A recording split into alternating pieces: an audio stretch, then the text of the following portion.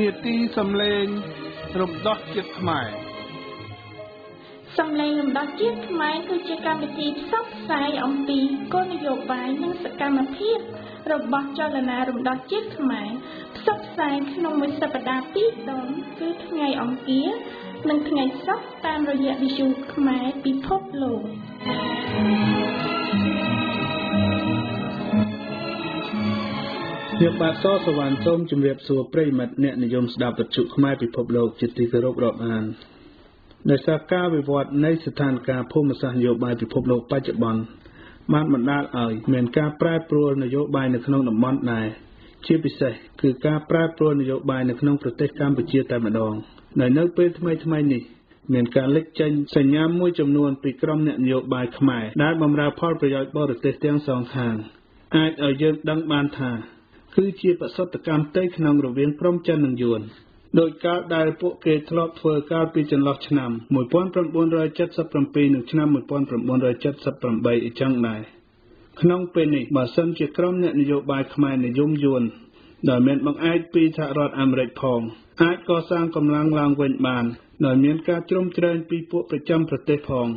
នោះស្ថានភាពថ្ងៃទី7ខែមករាឆ្នាំ1979 នឹងអាចវិលត្រឡប់វិញសារជាថ្មី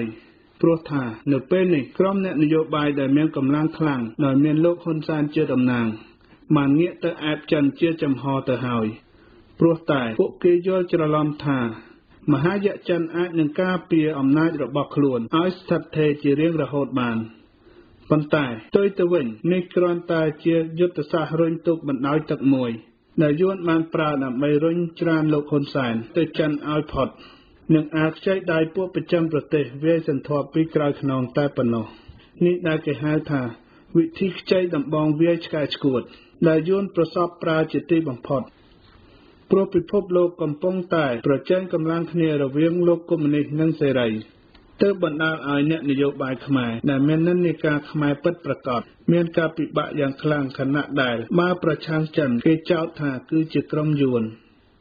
បើសិនជាប្រឆាំងនឹងយួនវិញ គេក៏ចោទថា គឺជាក្រុមចិនដែរហេតុនេះហើយក្នុងនាមពួកយើងជាអ្នកតស៊ូ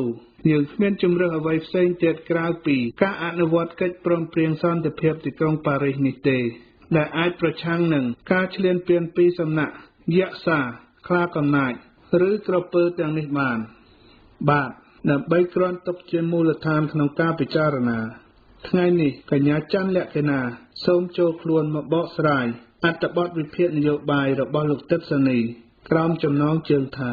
នយោបាយឈ្នះឈ្នះដូចតទៅជំរាបសួរនាងខ្ញុំច័ន្ទលក្ខិណានៃនេតិសម្លេងរំដោះជាតិខ្មែរបានវិលត្រឡប់មកផ្សាយជាថ្មីដែលភ្ជាប់មកនៅអត្ថបទវិភាគរបស់លោកទឹកសនីផងដែរក្រោមចំណងជើងថានយោបាយឈ្នះឈ្នះ ចាដើម្បីឲ្យជ្រាបកាន់តែច្បាស់នោះថាតើនយោបាយឈ្នះឈ្នះរបស់លោកទឹកសនីមានន័យដូចម្ដេចសូមអស់លោកអ្នកនាងកញ្ញាចូលរួមស្ដាប់ជាមួយនឹងនាងខ្ញុំដូចតទៅតើពាក្យថានយោបាយឈ្នះឈ្នះមានន័យដូចម្ដេចពាក្យថានយោបាយឈ្នះឈ្នះជាពាក្យរបស់ពួកផ្ដាច់ការមួយប្រភេទដែលមានមហិច្ឆតាប្រែក្លាយពិភពលោកទាំងមូលឲ្យទៅជាពិភពរបស់ពួកគេ នៅពេលអនាគតយូរឬឆាប់ខាងមុខ វិទ្យាសាស្ត្រនេះមានន័យថា ពួកគេត្រូវកំទេចស្ថាប័នប្រជាធិបតេយ្យ ទស្សនវិជ្ជា និងឧត្តមធម៌មនុស្សនិយមគ្រប់ប្រភេទដែលផ្ដល់ទៅឲ្យមនុស្សនៅសិទ្ធិសេរីភាពពលគឺសេចក្តីថ្លៃថ្នូររបស់មនុស្សនិយាយដោយសង្ខេបគឺការផ្សងព្រេងបង្កើតសម្ដេចធ្នាប់ពិភពលោកមួយថ្មីទៀតដែរឈរនៅលើការលុបបំបាត់សិទ្ធិសេរីភាពរបស់មនុស្សដោយយកសេដ្ឋកិច្ចជាធំ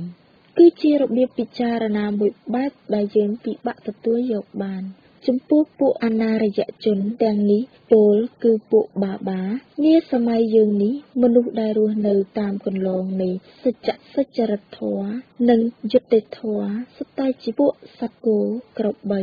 ឬជាមដែលពួកគេត្រូវយកទៅពិឃាតចោលដោយឥតស្ដាយស្រណោះបើមិនព្រមធ្វើជាទេសករឬទិញមងរបស់ពួកគេទេនោះ នៅស្រុកខ្មែរយើងអភិសមាចារថ្មីនេះដែលមានឈ្មោះថា នយោបាយឈ្នះឈ្នះកំពុងពេញនិយមគ្មានទៀតឡើយកិត្តិយសឬច្បាប់ទម្លាប់កិច្ចព្រមព្រៀងសន្ធិសញ្ញាអនុសញ្ញាអន្តរជាតិផ្សេងៗដែលជាគ្រឹះនៃសណ្ដាប់ធ្នាប់ពិភពលោកយើងសពថ្ងៃ គឺប្រហែលជាផ្អែកទៅលើគោលការណ៍ឈ្នះឈ្នះនេះហើយបានជាមហាយៈចិន មិនញញើតចូលចាត់ចែងនយោបាយនៅស្រុកខ្មែរដោយគាំទ្រការចាត់មេបកប្រឆាំងខ្មែរដាក់គុកដោយឥតកោតក្រែងប្រជាជនខ្មែរទាល់តែសោះគួរឲ្យសោកស្ដាយណាស់ដែលរដ្ឋាភិបាលនៃមហាប្រទេសនេះប្រមាថយ៉ាងខ្លាំងដល់កិច្ចព្រមព្រៀងសន្តិភាពទីក្រុងប៉ារីសដែលខ្លួនជាហត្ថលេខីផងនោះដែរ ទ្រឹស្ដីជាមូលដ្ឋានរបស់ពួកផ្ដាច់ការទាំងនេះ គឺទ្រឹស្ដីលុយធំជាងឧត្តមគតិពលគឺសេដ្ឋកិច្ចមានន័យថាបើឃ្លានចង់ធ្វើជាមហាសិក្ខីឬធ្វើជាលោកធំ ត្រូវលុតជង្គង់សុំរួចត្រូវសម្លាប់ប្រជាជនឯងប្លន់យកដីធ្លីទ្រព្យសម្បត្តិឲ្យអស់រីឯរបៀបប្លន់នោះចំពោះប្រទេសប្រជាធិបតេយ្យសម្បកក្រៅ គេហៅថាការអនុវត្តច្បាប់ តែជាការអនុវត្តច្បាប់ម្យ៉ាង ដែលមិនគោរពនីតិវិធី ហើយច្រើនតែផ្ទុយនឹងស្មារតីរដ្ឋធម្មនុញ្ញ បើពុំនោះសោតទេ គេអនុវត្តច្បាប់កុម្មុយនីសតែម្ដងពលគឺការដាក់រួម ប៉ុន្តែ ជាភ័ព្វសំណាងល្អ ប្រជាពលរដ្ឋខ្មែរដែលធ្លាប់បានភ្លក់រសជាតិរបបខ្មែរក្រហម យល់យ៉ាងច្បាស់អំពីសិទ្ធិសេរីភាពរបស់មនុស្សនិងលទ្ធិប្រជាធិបតេយ្យគឺយល់ច្បាស់ជាងប្រជាពលរដ្ឋដែលរស់នៅក្នុងប្រទេសលូតលាស់ទៀតផង ព្រោះប្រជាជននៃប្រទេសទាំងនេះមានសេរីភាពបរិបូរណ៍រួចទៅហើយ ហើយដើម្បីអនុវត្តការវាយលុករបស់គេ ពួកឈ្នះឈ្នះនិយមចាប់ផ្ដើមសម្លាប់អ្នកចេះដឹងឲ្យអស់ដោយលើកដំកើងពួកពុករលួយពាលាពួកភ្លើតភ្លើនគ្រប់ប្រភេទមុននឹងយកពួកឆោតល្ងង់ទាំងនោះទៅធ្វើទារុណកម្មនៅពេលក្រោយមកទៀត ពួកប្រមាថសិទ្ធិមនុស្សនិងលទ្ធិប្រជាធិបតេយ្យទាំងនេះតម្រូវឲ្យយុវជនឈប់រវល់នឹងនយោបាយស្រុកទេសអ្វីទាំងអស់ព្រោះនយោបាយជាកម្មសិទ្ធិដាច់ថ្លៃរបស់ពួកគេ នៅស្រុកខ្មែរពលរដ្ឋខ្មែរត្រូវពួកនេះសម្លាប់អស់ជិត3លាននាក់ក្នុងវាលពិឃាតនាឆ្នាំ1975ដល់ឆ្នាំ1979រីឯអ្នកបានរៀនសូត្រនៅសាលាបានត្រូវគេសម្លាប់ជាប្រព័ន្ធស្ទើរផុតពូជ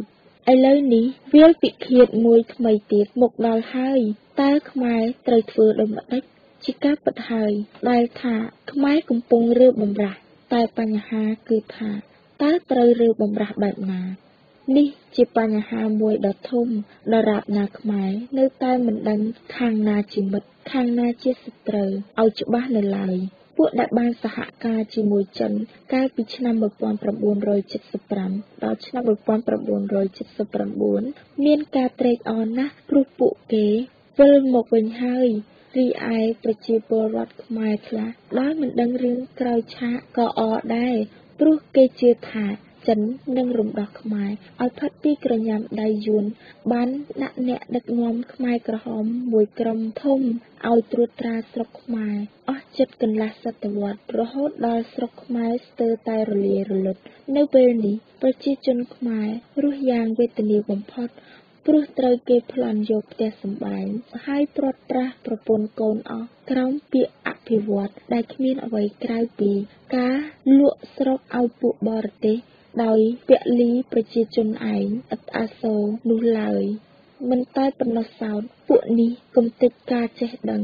ឬវិជ្ជាពិតប្រាកដនឹងវប្បធម៌ខ្មែរអស់ខ្ទេចខ្ទីដើម្បីឲ្យខ្មែរអស់មានសមត្ថភាពរើបំរាស់ និងបាត់អត្តសញ្ញាណជាតិរបស់ខ្លួន រីឯអ្នកដែលសង្ឃឹមទៅលើអាមេរិកក៏អាមេរិកគេមិនអាចជួយតាមចិត្តខ្មែរចង់បាននោះដែរព្រោះថាដូចជាចិនមិនយួនអញ្ចឹងដែរអាមេរិកមិនមែនជាខ្ញុំកញ្ចះរបស់ខ្មែរឡើយអាមេរិកគេធ្វើអ្វីៗដើម្បីបម្រើប្រជាពលរដ្ឋរបស់គេតែប៉ុណ្ណោះ អាមេរិកក៏ចង់មានការកោះប្រជុំសាររើពិនិត្យឡើងវិញ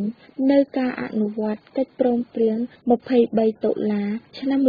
1991 ឡើងវិញដែរ តែធ្វើប៉ុន្មានដងទៀតក៏ខ្មែរនៅតែរត់ទៅបំរើកុម្មុយនីសវិញ ដដែលជាដដែលនៅទីបំផុត ព្រោះជ័យជំនះសពបែបយ៉ាង ដែលបានមកម្ដងម្ដងតែងតែបាត់ទៅវិញអស់ភ្លាមភ្លាម គឺហាក់ដូចជាជ័យជំនះដែលបានមកគឺការសម្រេចតែពួកឱកាសនិយមប៉ុណ្ណោះនេះជាមេរៀនសម្រាប់អ្នកតស៊ូជំនាន់ក្រោយ គេមិនខ្លាចសត្រូវទេ តែអ្វីដែលគេខ្លាចបំផុត គឺពួកឱកាសនិយម ដែលតែងតែទៅដល់លានជ័យជំនះមុនគេបង្អស់ទោះសត្រូវខ្លាំងដល់កម្រិតណាក្តីក៏គិតមិនផុតពីក្រិតក្រមលោកីសច្ចៈដែរមានន័យថាបើដើរខុសផ្លូវ មុខជានឹងធ្លាក់ជ្រុះជាពុំខានឡើយ គឺដូចសហរដ្ឋអាមេរិក ឬប្រទេសជប៉ុន និងសហភាពសូវៀតកាលពីឆ្នាំមុនដូចនេះដែរពាក្យចាស់ពោលថា អ្នកឡើងបានតែបេះអ្នកប្រលេះបានស៊ីឆ្អែតរៀបរៀងដោយ លោកទឹកសានីចានាងខ្ញុំច័ន្ទលក្ខណាសូមអរគុណសូមជម្រាបលា សម្រាប់លោកអ្នកនាងដែលចង់ធ្វើការទំនាក់ទំនងមកកាន់ចលនារំដោះចិត្តខ្មែរសូមតាក់ទងតាមរយៈអ៊ីមែល knlm 2017 @gmail.com ឬក៏ទំនាក់ទំនងតាមបណ្ដាញសង្គម Facebook គឺមានឈ្មោះថា ចលនារំដោះជាតិខ្មែរសរសេរជាភាសាខ្មែរ ខ្ញុំបាទសសវណ្ណនេតិសម្លេងរំដោះជាតិខ្មែរសូមអរគុណសូមជម្រាបលាជួបគ្នានានេតិសម្លេងរំដោះជាតិខ្មែរក្រោយៗទៀត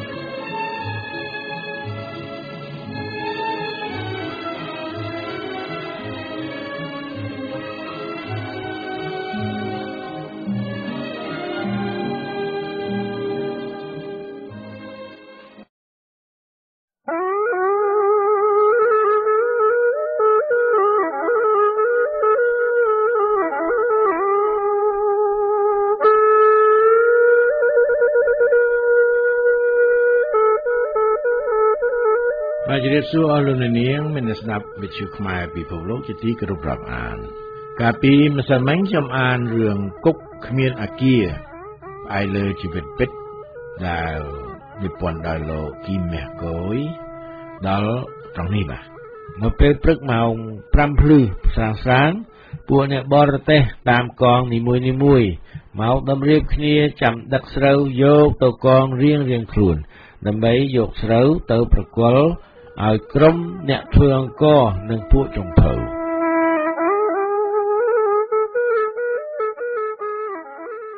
ហើយថ្ងៃនេះខ្ញុំសូមអានបន្តការបញ្ចិនស្រូវប្រាំងមានការពិបាកជាងការបញ្ចិនស្រូវវស្សាឬស្រូវធ្ងន់ព្រោះស្រូវធ្ងន់ពេលជ្រលកាត់ នៅពេលស្រែស្ងួតទឹក ហើយដើមស្រូវក៏ស្ងួតទៀតសោតឯក្របស្រូវក៏របេះពីគួរយ៉ាងងាយដែរ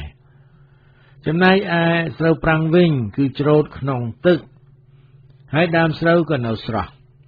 ឯក្របស្រូវវិញក៏មិនងាយរបេះចេញពីគួរដែរ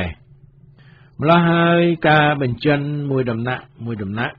ត្រូវការប្រើពេលយូរជាងស្រូវធ្ងន់ សុធនយល់ឃើញថាកិច្ចការបញ្ចិនស្រូវប្រាំងនេះ វាជាអំរែកមួយដ៏ធ្ងន់មកលើពួកអ្នកបញ្ចិនខ្លាំងណាស់សុធនបានបែងចែកការងារក្នុងការបញ្ចិននេះឲ្យបានប្រហែលប្រហែលគ្នាដើម្បីជៀសវាងការចរណែនគ្នាក្នុងការបញ្ចេញកម្លាំងនេះក្នុងការបញ្ចិននេះត្រូវមាន2អ្នកផ្លាស់ប្ដូរគ្នាបកគោបញ្ចិនស្រូវ2អ្នកទៀតចាំតិតចំបើង ហើយពីរអ្នកទៀតចាំសែងចំបើងយកទៅចោលឲ្យឆ្ងាយពីរោងបញ្ជាន់ចំពោះសុធនតែងតែចូលជួយនៅគ្រប់ផ្នែកទាំងអស់ដើម្បីឆ្លៀតពេលបន្តិចបន្តួចឲ្យអ្នកខ្លះបានដេកកន្លះម៉ោងឬ1ម៉ោងការបញ្ចិនស្រូវប្រព្រឹត្តទៅបានមួយសប្តាហ៍នាងម៉ាលីកាបានមកយកកុមារីជាដាទៅនៅជាមួយព្រោះសុធនមានការមមាញឹក ក្នុងការបញ្ចិនស្រូវពេក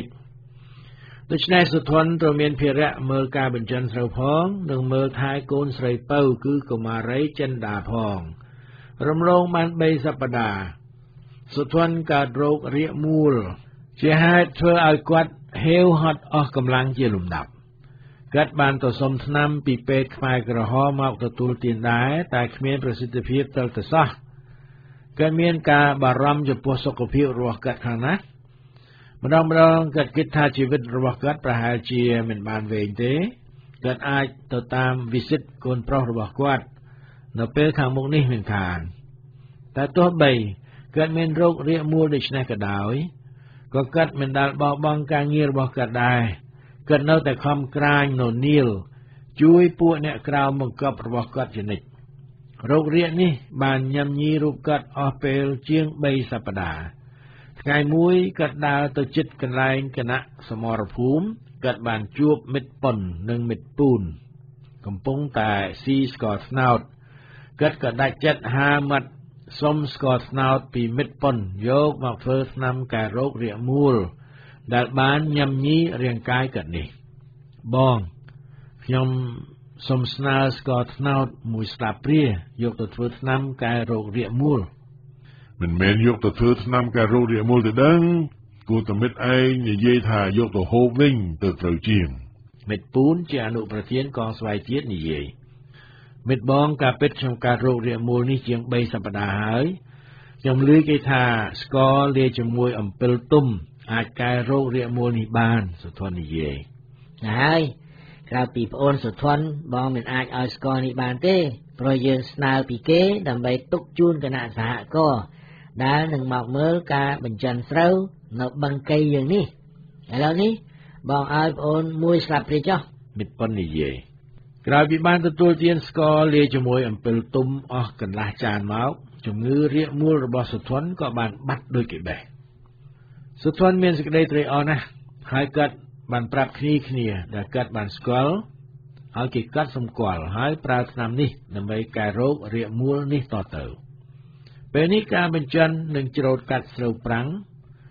ជាមុខសញ្ញាសំខាន់ជាងគេនៅសហគមន៍ស្វ័យជាតិ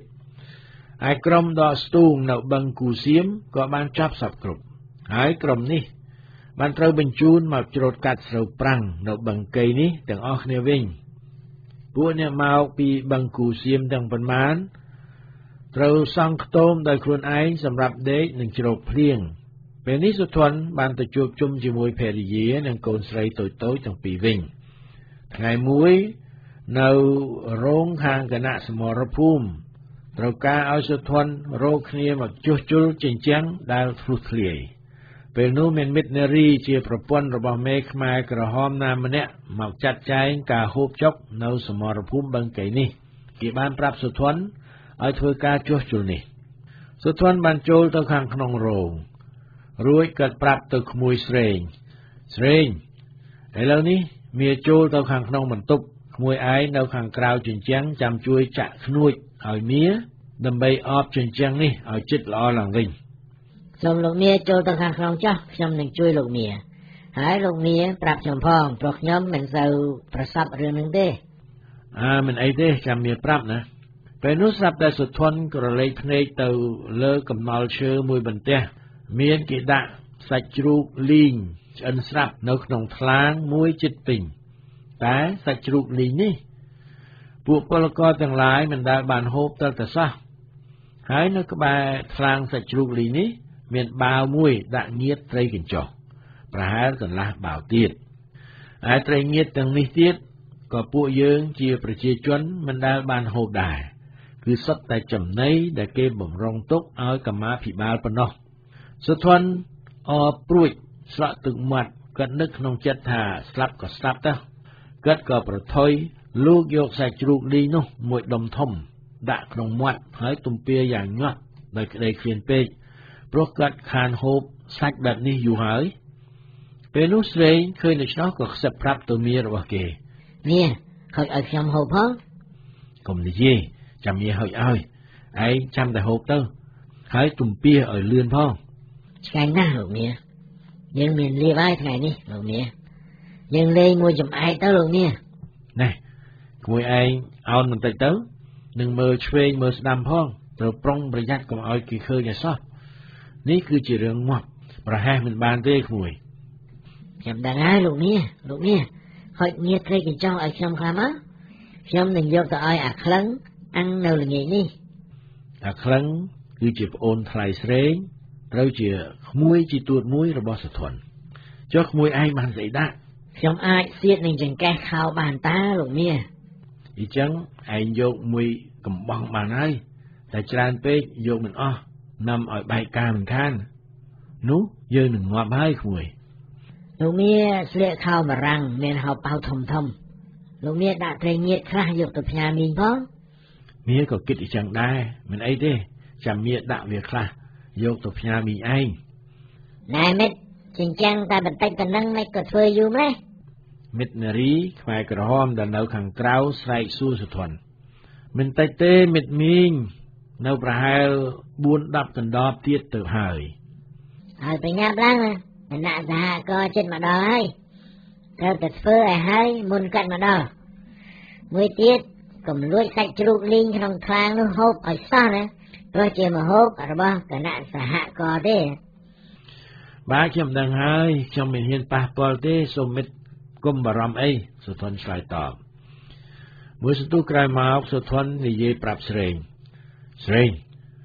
ឥឡូវនេះយើងចុះជុលរួចហើយក្មួយឯងដើរធ្វើដូចធម្មតាអញ្ចឹងរួចទៅខ្ទមមុនមានចុះចាំមៀចេញទៅតាមក្រោយឯង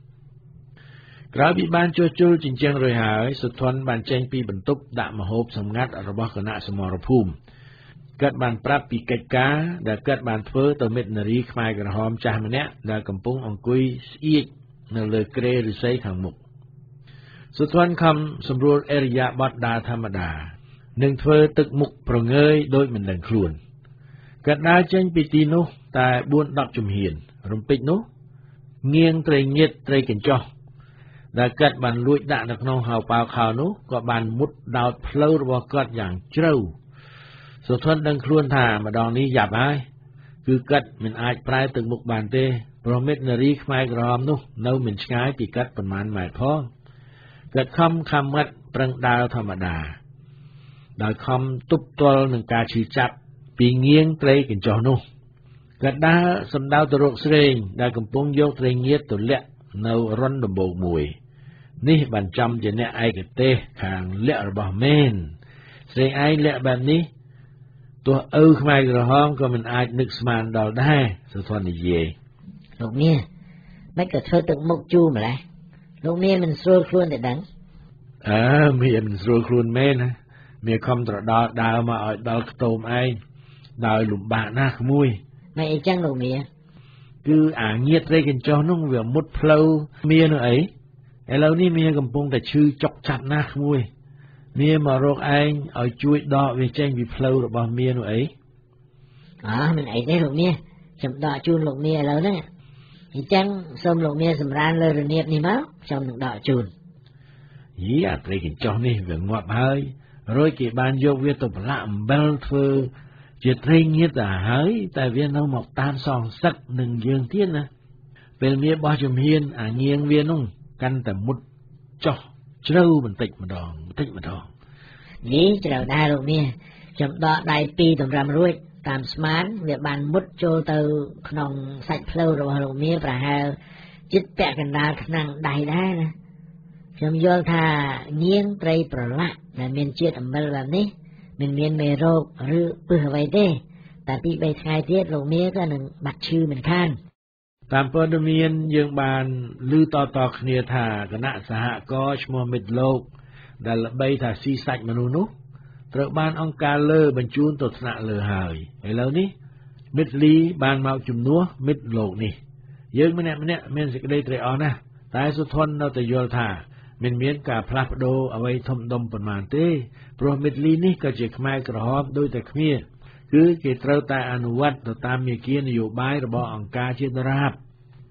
ចូលខែទី2នៃការបញ្ជន់ស្រូវប្រាំងនៅបឹងកេនៅពេលយប់មួយ ពេលយើងទទួលទានបបររួចហើយស្រាប់តែមានការបើកអង្គប្រជុំមួយ ដែលពួកខ្មែរក្រហមចូលចិត្តនិយាយតាមភាសាអង់គ្លេសថា meeting ក្រោមអធិបតីភាពរបស់មិត្តវ៉ាន់ដែលគេ មានមុខងារដ៏ពិសេសនៅក្នុងឃុំ គឺគេកាន់តំណែងខាងសេដ្ឋកិច្ចឃុំស្វ័យជាតិទាំងមូលនៅពេលនោះគេបានប្រមូលពលករនៅគ្រប់ផ្នែកក្នុងសមរភូមិបឹងកៃមករួមប្រជុំទាំងអស់ពេលនោះមិត្តវ៉ាន់បាននិយាយថាពុកម៉ែបងប្អូនដឹងទេពួកយើងមានបញ្ញាឆ្លាតវៃជាងពួកសាសេភូមិនិងលើសពីពួកបនលន់នល់ឆ្ងាយណាស់ដោយខ្លួនខ្ញុំជាដើមខ្ញុំបានរៀនសូត្រមិនអស់សិភៅសរសេរមួយក្បាលផង ខ្ញុំក៏អាចកាន់ការសេដ្ឋកិច្ចមួយឃុំចុះពួកសាក់ដែលភូមិនិងពួកបនលន់នល់ឮសូរតែរៀនរៀនរៀនរាប់ឆ្នាំអស់ប្រាក់ម៉ែឪមិនចេះស្អីទេ ហើយម្នាក់ម្នាក់រៀន10 20ឆ្នាំដល់ទីបំផុតចេះអីគ្មានបានការអ្វីទាំងអស់យើងទាំងអស់គ្នាដែលធ្លាប់រៀនសូត្រដល់ឮសម្ដីបែបនេះ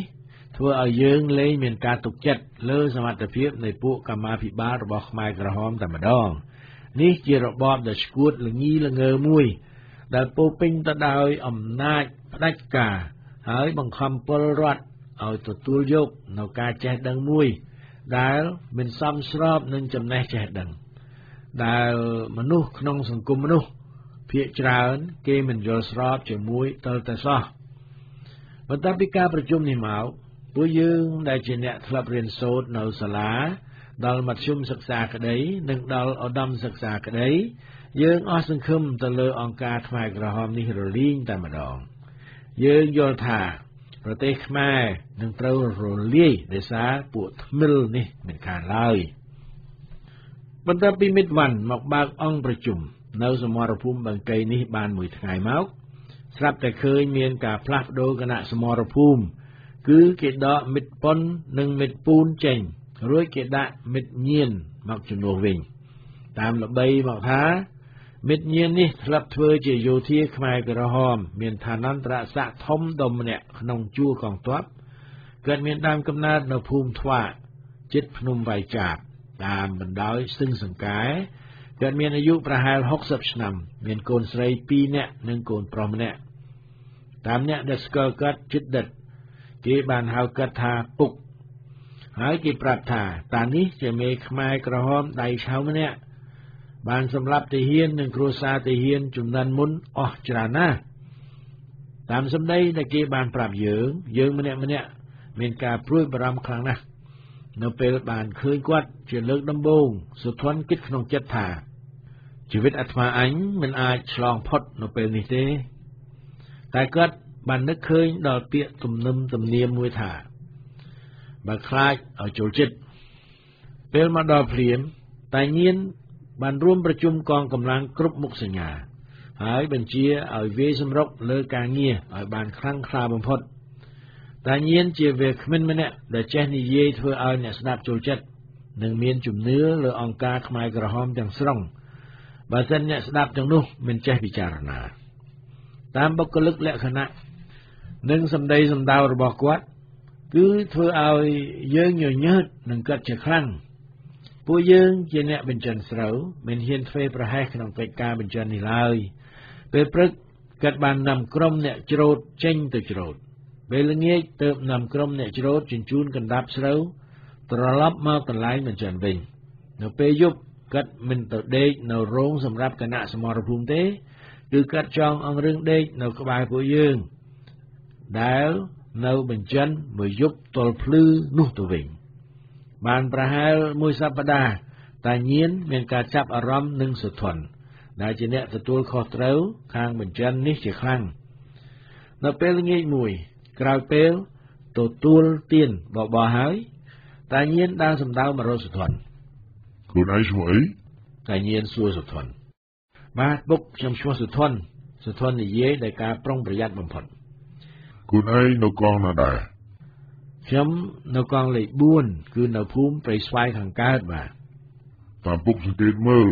ពួកកូនកូនខាងវិជានេះដូចជាគ្មានពេលសម្រាកទេពុកយល់ថា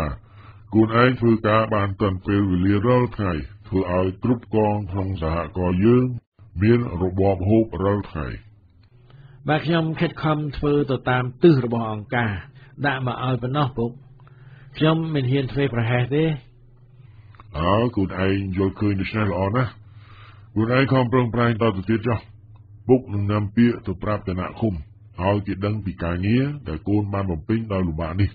ហើយធ្វើបានជោគជ័យថែមទៀតអូខ្ញុំសូមអរគុណពុកខ្លាំងណាស់ឥឡូវនេះដល់ពេលខ្លួនឯងមិនចាំទៀតហើយពុកទុកឱកាសនេះឲ្យខ្លួនឯងវាសម្រុកតទៅទៀតចុះ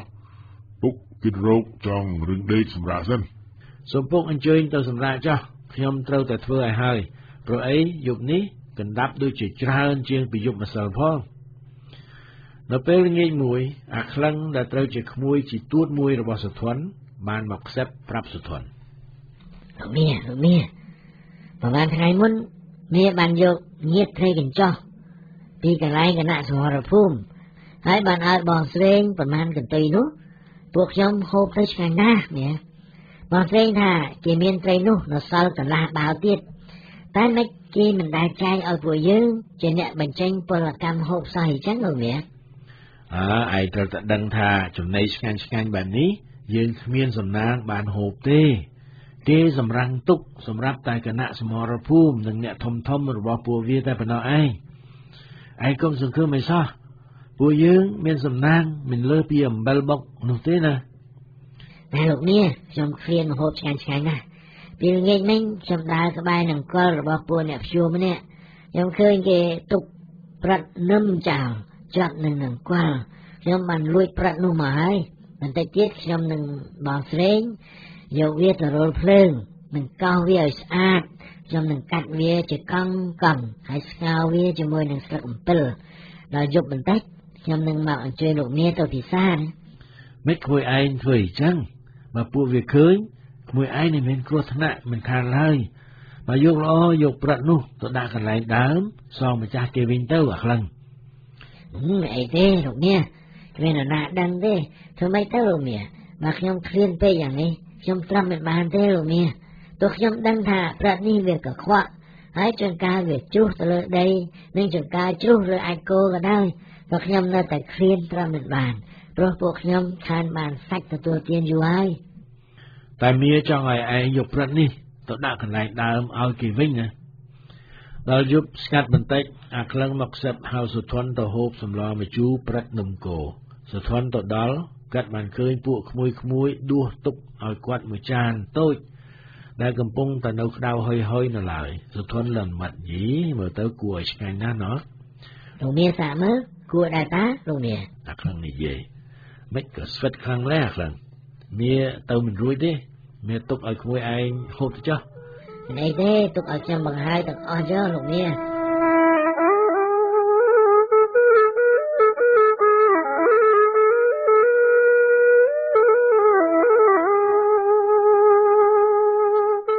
អរលោកអ្នកនាងមានស្ដាប់វិទ្យុខ្មែរពីភូមិលោកជាទីប្រកបអានខ្ញុំសូមស្លេះអំណាន វគ្គស្ដីពីសមរភូមិស្រែប្រាំងបឹងកៃតែប៉ុណ្ណេះសិនព្រោះនៅវែងទៀតចាំថ្ងៃក្រោយនឹងយកមកអានជូនស្ដាប់បន្តបាទថ្ងៃនេះសូមអរគុណនិងជម្រាបលា